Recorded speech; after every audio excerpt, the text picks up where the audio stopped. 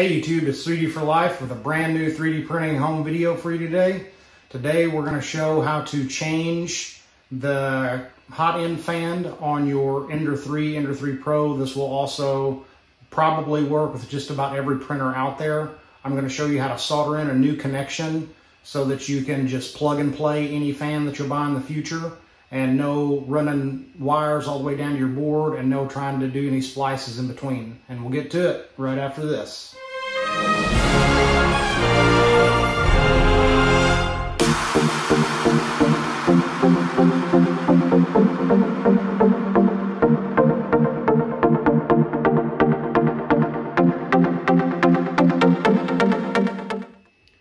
So guys, in order to do this, we're gonna need a few tools. You're gonna need an Allen tool to take loose your stock uh, fan cover.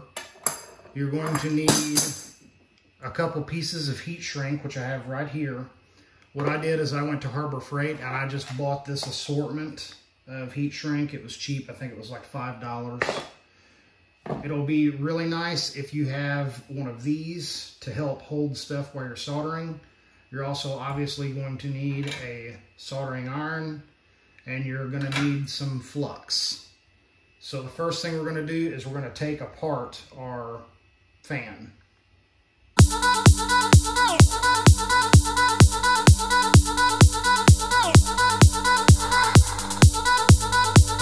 That taken apart, we're going to go ahead and cut this zip tie right here so we can get this out of our way. And now we're going to need to loosen all of these screws to take our stock fan out of our housing.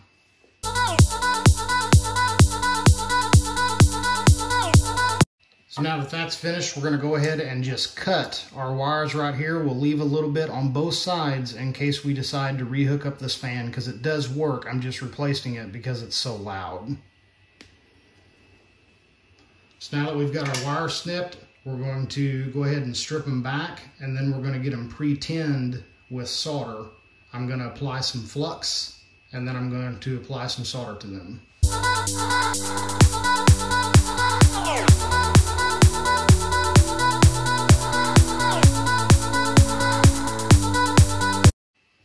So now that we've got that done, I actually robbed these two little pins. I'm not for sure if you can see them and this little connector right here, which works with the fan motors.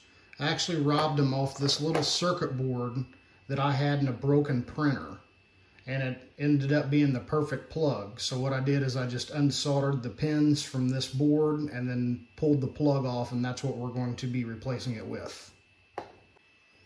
So the next thing we're going to do is we're going to go ahead and place one of our pins in this jig and we're going to apply some of the flux to it and then we're going to pre-tin that as well.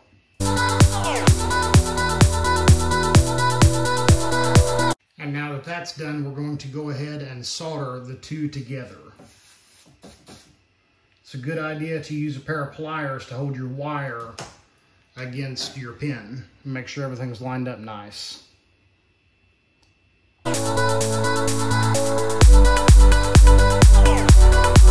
Now that that step's done, the next thing we're going to do is go ahead and slide our heat shrink over both of these connections. Make sure you leave plenty of pin exposed to go into your plug-in. And then we're going to heat shrink these.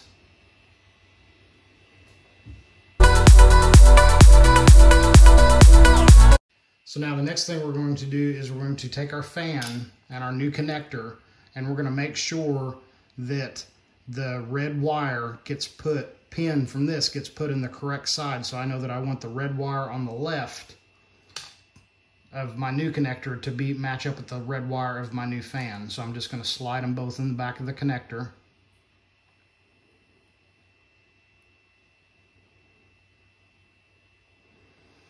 And now that they're both in there, you can see that I have a new plug that my fan that I ordered will just plug right into.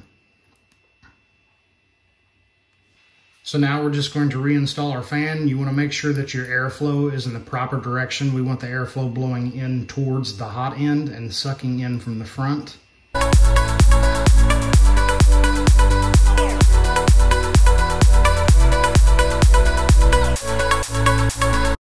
So now we have this nice convenient plug to unplug and plug in new hot end fans now without taking anything else apart, without extending any wires or anything. And all I'm going to do to make this look a lot nicer is I'm gonna bundle all this up back here and then just run this loom right back over the top of everything.